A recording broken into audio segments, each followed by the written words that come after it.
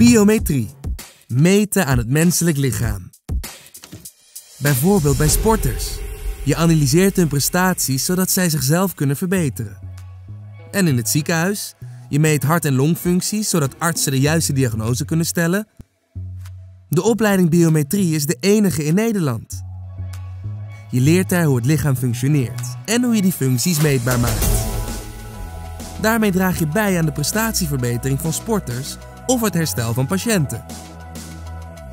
De opleiding is lekker praktijkgericht. Je leert het hele menselijk lichaam kennen. Theorie en praktijklessen sluiten logisch op elkaar aan. Daardoor leer je de processen van het lichaam begrijpen.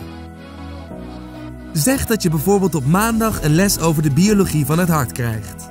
Op dinsdag voer je een meting uit waarbij je de werking van het hart ziet en begrijpt hoe de meetapparatuur werkt. Vervolgens krijg je op donderdag een les over het verbeteren van het meetsignaal door ruis weg te filteren. En op vrijdag bouw je zo'n filter zelf. Door samen te experimenteren wordt de theorie veel leuker.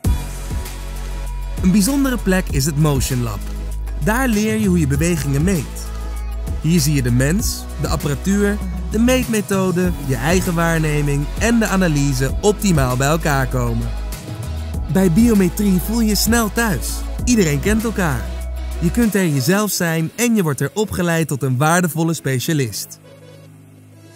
De specialist die de techniek inzet om mensen te helpen.